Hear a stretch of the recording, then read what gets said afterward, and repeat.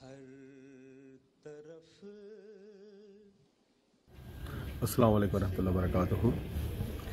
میرا نام علی شہزاد ہے۔ میں نے کچھ عرصہ پہلے ایک ویڈیو بنائی تھی۔ تو اس میں میں نے کلیئر کیا تھا کہ میں نے دو دو ہزار تین میں جرمنی میں بیعت کی تھی۔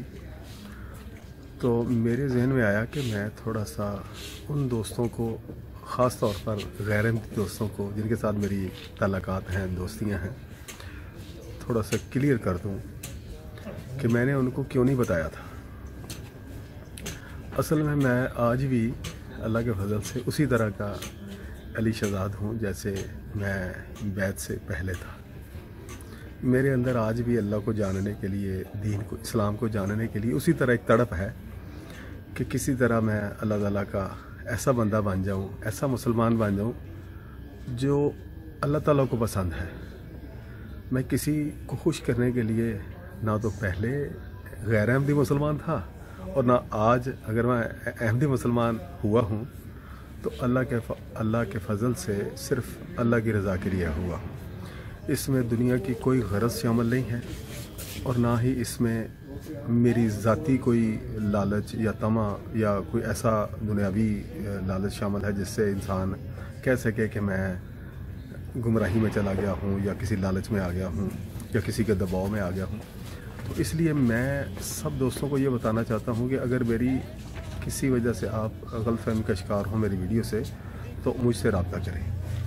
میں اللہ کے فضل سے منافق آدمی نہیں ہوں اگر آپ لوگوں کے پاس کوئی بھی آج بھی دلیل ہے، قرآن، سنت اور حدیث کے مطابق اور صحابہ کی زندگی سے، اور یہ الفاظی باتیں نہ ہوں، دیکھیں ہمارے اولیاء اللہ جو گزرے ہیں، انہوں نے صرف زبانی کلامی باتیں نہیں کی ہیں، نہ صرف کتابیں لکھ کے چلے گئے ہیں، ان کی عملی زندگی کے نمونہ تھی۔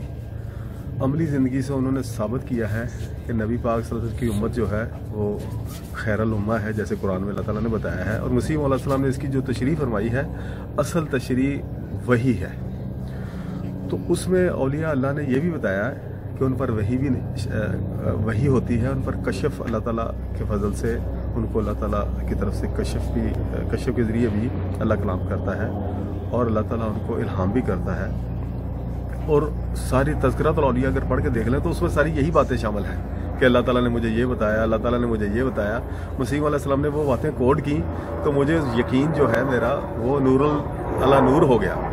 تو میں یہ بتانا چاہتا ہوں کہ اگر کسی کے پاس کوئی دلیل ہے، اور میں بھی آپ کو بتانے کے لیے آتا تھا، لوگ تو مترفر ہو جاتے ہیں جلدی جلدی۔ دین کی باتوں میں تھوڑا سا نرمی سے کام لینا چاہیے۔ اسلام کہتے ہیں نا، اسلام پیس کا نام ہے۔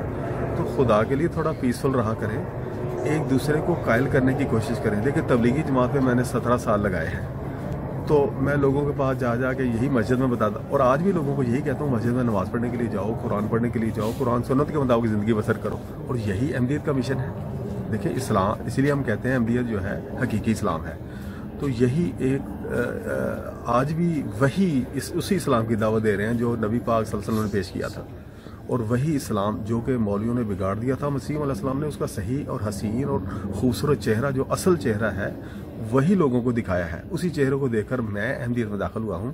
اس لیے میں آپ دوستوں سے یہ عرض کرنا چاہتا ہوں کہ آپ قرآن کو ترجمے کے ساتھ پڑھیں، تفسیروں کو بھی پڑھیں۔ میں یہ نہیں کہتا کو نہ پڑھیں، لیکن مسیم علیہ السلام کی تفسیروں کو ضرور پڑھیں۔ کہ انہوں نے قرآن حدیث کو کیسے پیش کیا ہے۔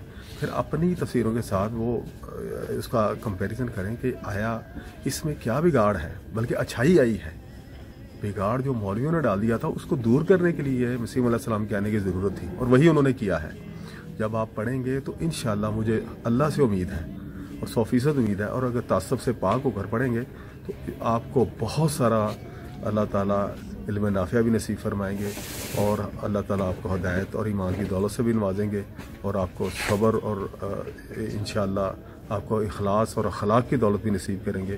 میری آپ سب سے درخواست ہے کہ اگر کسی قسم کی غلط فہمی ہو تو مجھ سے ڈائریکٹ رابطہ کریں۔